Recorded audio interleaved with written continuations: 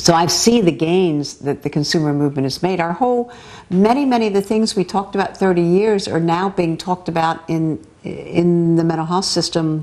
We always talked about recovery. Well, we didn't use the word. We talked about that. We knew that it wasn't chronic. You know that this thing, this diagnosis of mental illness was not a chronic illness like other illnesses, the way they like to explain it, and and that people got over it. You know?